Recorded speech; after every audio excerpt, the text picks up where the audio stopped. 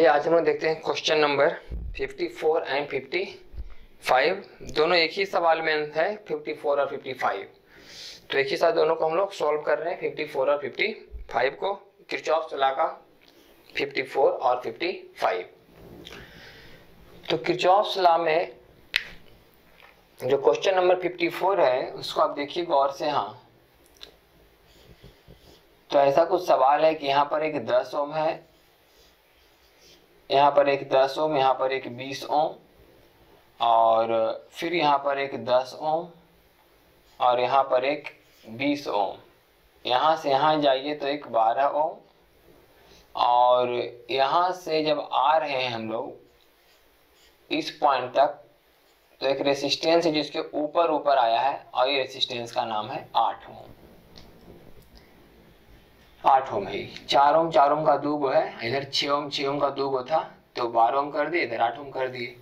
अभी पॉइंट का नाम है एम ई पॉइंट का नाम है एन तो क्वेश्चन नंबर 54 में बताना है कि equivalent resistance between M and N M और एन के बीच इक्विवेलेंट रेसिस्टेंस बताना है। ये 54 नंबर क्वेश्चन है।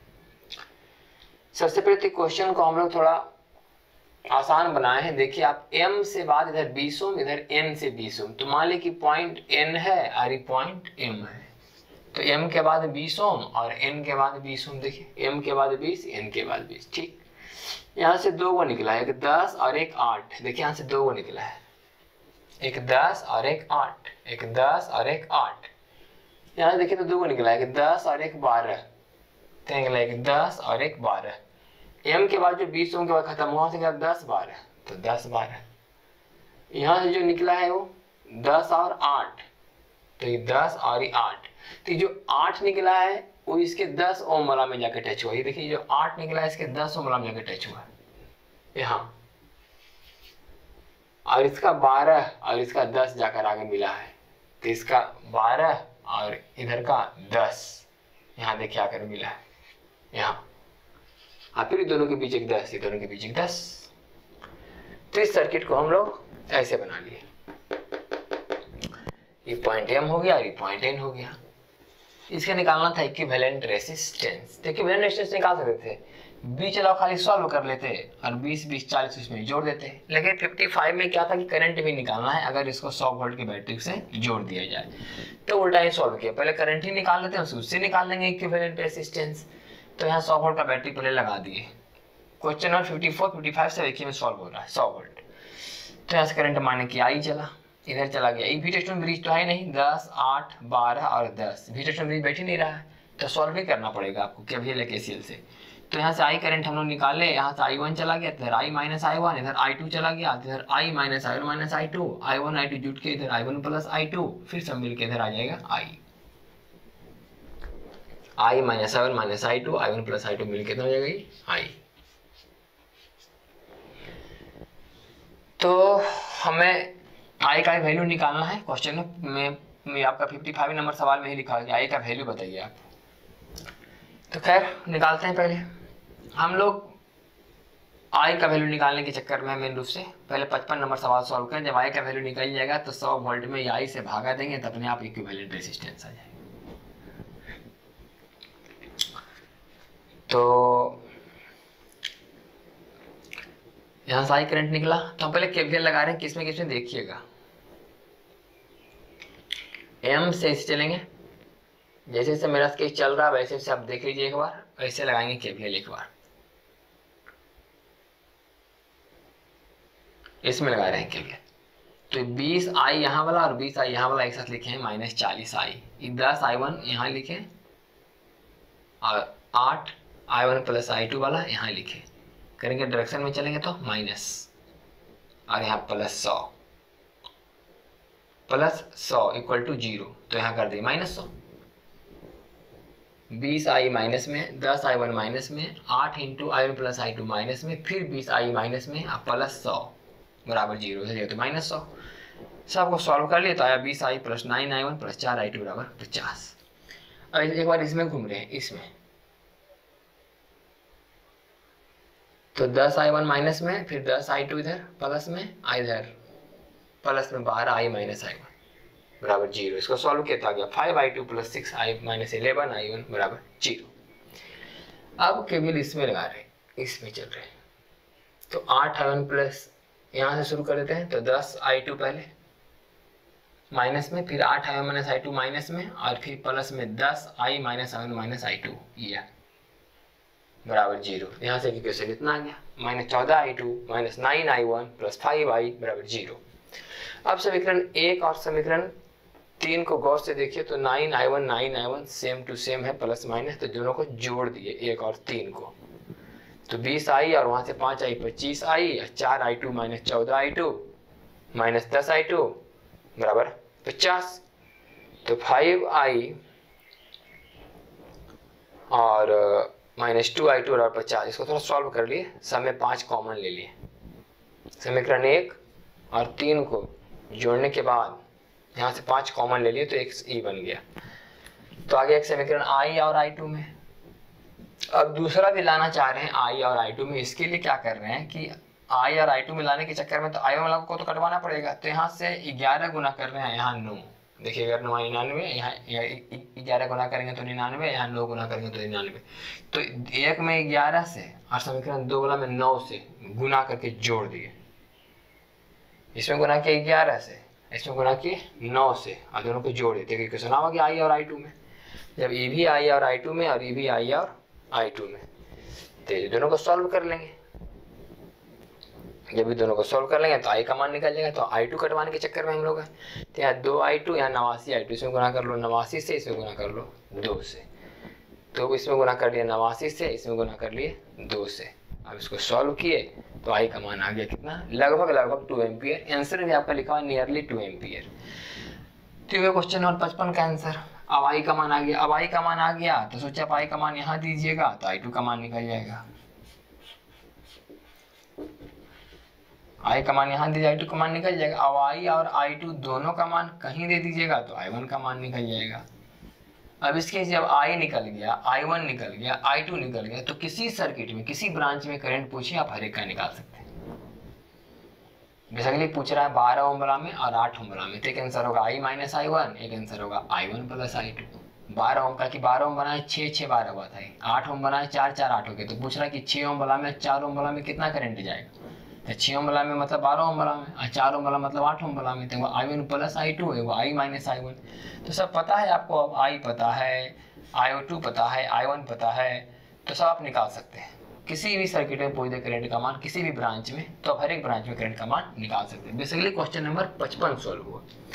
चौवन क्या था? क्या इक्विवेलेंट बताइए। अब सोचिए कि यहाँ से दो एम्पियर करंट जा रहा है, सौ वोल्ट का बैटरी दो एम्पियर करंट दे रहा है तो लगभग लगभग पूरा इक्विवेलेंट कितना होगा? पचास।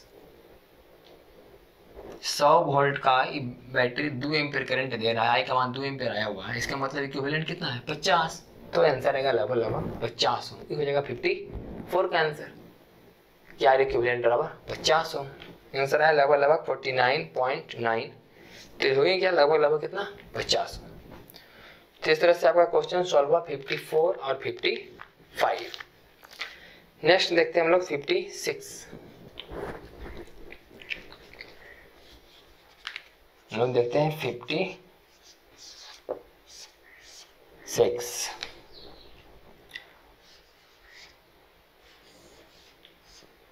ये कैपेसिटर है एक।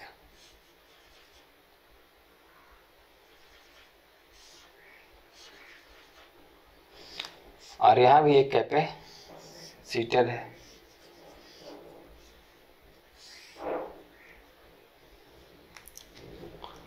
इसका नाम है सी वन इसका नाम है सी टू इसका नाम है आर टू इसका नाम है आर वन और एम और एन क्वेश्चन में लिखा है कि एम और एन के बीच में एक 12 वोल्ट का बैटरी लगा दिया गया। क्वेश्चन में मेंशन है सब बात भी एम एन बराबर बारह वोल्ट आर वन का वैल्यू लिखा हुआ है चारों। टू दो सी वन छः माइक्रोफेराड सी टू तीन माइक्रोफेराड आई एम और इनके बीच बारह वोल्ट क्वेश्चन है in the given figure calculate the charge on each condenser when the keys open and keys close दो क्वेश्चन सवाल है इसमें या की ओपन है तो आंसर और की क्लोज है, तब आंसर बताइए कि C1 और C2 कितना चार्ज है। तो पहले ओपन का हम लोग सॉल्व कर रहे हैं। तो ये है क्वेश्चन नंबर 56 जिसमें दो बार सॉल्व करना है। एक बार ओपन में और एक बार क्लोज में। अभी समझिए कि जब ये ओपन है तो यहाँ से करंट अगर हम मानते कि चलना शुरू करेगा तो यहाँ तक करंट जब आएगा तो यहाँ से तो करंट जाएगा इधर, यहाँ तक मान लिया पहुँचा, इधर तो जाने का रास्ता है नहीं। आए तो कैपेसिटर है कैपेसिटर रास्ते में कभी करंट जाएगा नहीं क्योंकि कंडेंसर जब फुल चार्ज हो जाएगा तो ओपन साइड की तरह काम करते हैं। अपने रास्ते से करंट जाने नहीं देगा। इसका मतलब इस सिचुएशन में कभी करंट फ्लो होने वाला बात नहीं है। इस सिचुएशन में कभी करंट फ्लो नहीं होगा। तो सिंपल ये हो गया तो के रहे या ना रहे, कोई दिक्कत है नहीं तो ओपन ही है। अभी देखिए कि C1 R2 R2 में कोई करंट ना इस रास्ते से कोई करंट जाएगा, ना इस रास्ते से कोई करंट जाएगा।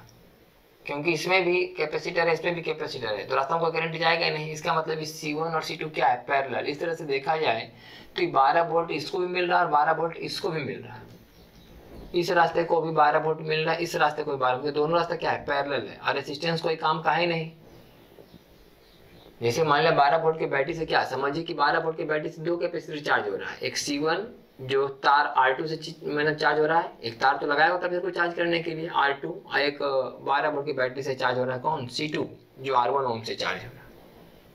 तो जब भी फुल्ली चार्ज हो जाएगा C1 या C2 तो फिर R2 का कोई काम ही नहीं रहेगा, और मैक्सिमम चार्ज कितना होगा? Q बराबर सी भी तो 12 और C1 का मान 6 तो C1 जो है चार्ज हो जाएगा बारह छक, बहत्तर माइक्रोकुलम और C2 जो है चार्ज हो जाएगा बारह छत्तीस माइक्रोकुलम देखो, बहत्तर माइक्रोकुलम एक हो जाएगा। छत्तीस माइक्रोकुलम ये तो ओपन का बात हुआ।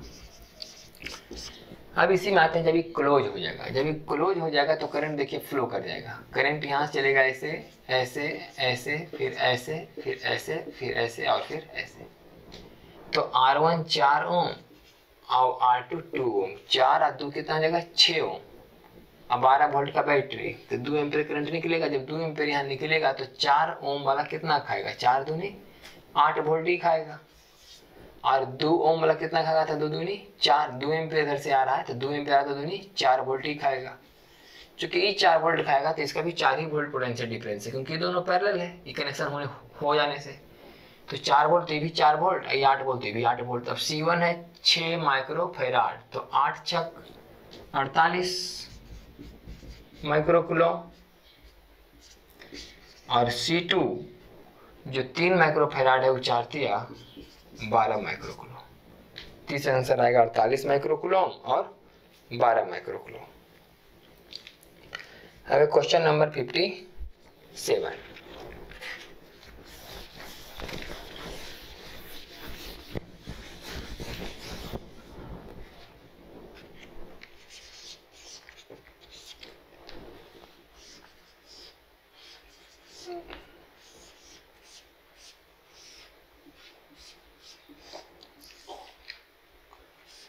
यहाँ पर एक की लगा हुआ है। ये हो गया आर वन ये है आर टू ये है सी टू और ये है सी वन एम और एन के बीच क्वेश्चन में लिखा हुआ है कि 12 वोल्ट लगाया गया है।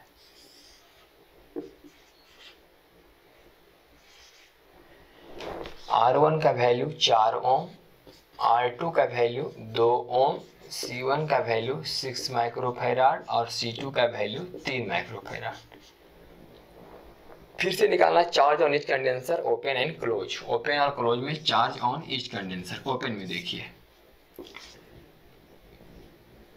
ओपन में क्या है? कि 12 वोल्ट इसको भी मिलेगा और 12 वोल्ट इसको भी मिलेगा। ये तो ओपन है। तो 12 वोल्ट इसको भी मिला 12 वोल्ट इसको भी तो इसमें C1 C2 क्या हो गया सीरीज़ में। बारह वोल्ट मिलेगा सी वन सी टू को सीरीज़ में। तो C one C two series में कितना हो जाएगा? सी वन गुने सी टू बटा C one plus C two अठारह बटे नौ बराबर दो माइक्रोफेराड। यानी दो माइक्रोफेराड है। इसको बारह वोल्ट मिल रहा है। तो ये दोनों मिलकर हो गया दो माइक्रोफेराड। छः छः और तीन। छः और तीन मिलकर गया सीरीज़ में दो माइक्रोफेराड। बारह वोल्ट की बैटरी से सप्लाई तो बारह दूनी चौबीस माइक्रोकुलम चार ही जाएगा सप्लाई होगा इस रास्ता से। तो दोनों में जाएगा चौबीस माइक्रो कुलोम क्योंकि सीरीज़ में है तो दोनों का दोनों आंसर होगा। चौबीस माइक्रो कुलोम अब बी में लिखा हुआ है कि क्लोज ओपन था अब है क्लोज अगर ये क्लोज कर देंगे तो देखिए अब करंट तो इसके पहले भी जा रहा था, ऐसे करंट जा रहा था, ऐसे होकर के। इस रास्ता से। ये भी जा रहा है। तो अब जो करंट जा रहा है, अभी भी कितना जा रहा है करंट आर वन चार और आर टू दो। तो चार दो, छ। आई बारह वोल्ट तो दो एम्पियर। दो एम्पियर करंट यहाँ से चल रहा है सब। अब दो एम्पियर चल रहा है चार ओम का है। तो चार दो आठ वोल्ट ही खाया। और ये है दो ओम का, दो एम्पियर जा रहा था दो दूनी चार वोल्ट भी खाया। अभी चार वोल्ट ये भी चार वोल्ट पैरेलल हो गया अभी दोनों। ये आठ वोल्ट ये भी आठ वोल्ट तो अभी आठ वोल्ट है छः माइक्रो फेराड तो आठ छक अड़तालीस माइक्रो कुलोम सी वन वाला चार्ज होगा। और सी टू वाला चार्ज होगा चार वोल्ट और तीन तो चार दिया बारह माइक्रो तो आंसर जो अड़तालीस माइक्रो कुलोम और बारह माइक्रो कुलोम क्वेश्चन नंबर अंठावन, संतावन से ही है। करा कि इन द एव क्वेश्चन कैलकुलेट भी A B when the key is open and close. जब ए की ओपन है तो ए और बी के बीच का पोटेंशियल बताइए। और जब ये क्लोज है तब पोटेंशियल बताइए। अंठावन नंबर सवाल में। तो क्लोज का भी है ये तो क्लोज का पहले निकाल लेते हैं। अब सोचिए कि आठ वोल्ट यहाँ भी है, आठ वोल्ट यहाँ भी है। यहाँ ज़ीरो है, यहाँ बारह है। बारह में आठ ही खा गए थे कितना बचा? चार वोल्ट यहाँ आठ कहते हैं, कितना बचा? चार वोल्ट मैंने यहाँ भी चार वोल्ट बचेगा, यहाँ भी चार वोल्ट चार में चार ही खा गया कितना बचा? ज़ीरो। यहाँ चार वोल्ट था, चार वोल्ट ही का कितना बचा है? ज़ीरो। तो यहाँ भी चार वोल्ट यहाँ भी चार वोल्ट तो पोटेंशियल डिफरेंस कितना आएगा? ज़ीरो। क्लोज के समय है। क्लोज में आंसर आएगा ज़ीरो। जब ए और बी ओपन था, तब बताना कि इसके बीच का पोटेंशियल डिफरेंस क्या है? जब ए और बी ओपन था, तभी आठ वोल्ट का ही आठ वोल्ट नहीं रहेगा। ये चार वोल्ट का ही चार वोल्ट नहीं रहेगा।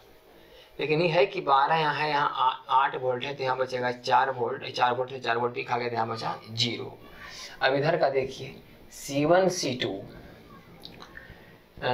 C one कितना चार्ज था उस समय? चार्ज कितना चल रहा था पूरे सर्किट में ओपन में? चौबीस माइक्रो अब सोचिए कि छः माइक्रो फेराड के कैपेसिटर को चौबीस माइक्रो मिल रहा है। इसका मतलब चार वोल्ट खा रहा है। तो ना क्यू बराबर सी वी क्यू हो गया चौबीस ओपन के समय। क्यू है चौबीस, और सी है छ तो क्यू बराबर सी भी। तो क्यू है चौबीस तो बराबर सी भी। तो सी है छ मतलब भी चार वोल्ट चार वोल्ट खा रहा है। इसका मतलब बारह वोल्ट में चार खा रहा है कितना बचा? आठ वोल्ट। अब आठ वोल्ट ई खाएगा। कैसे देख लीजिए चौबीस माइक्रो इसको भी मिला। आई तीन माइक्रो फेराड था तो आठ दिया चौबीस। मतलब आठ वोल्ट यहाँ आठ वोल्ट का आठ वोल्ट ड्रॉपर यहाँ बचा, ज़ीरो। इसका मतलब उसमें यहाँ आठ वोल्ट था। तो यहाँ चार वोल्ट यहाँ आठ वोल्ट अंतर कितना हुआ? ए से बी निकालना है कि बी से ए भी ए बी भी ए बी मतलब भी ए माइनस भी बी तो भी ए माइनस भी बराबर होगा माइनस चार वोल्ट तो क्या आपका आंसर फिफ्टी नाइन का। नहीं फिफ्टी एट का आंसर वही ये। क्वेश्चन था आपका फिफ्टी एट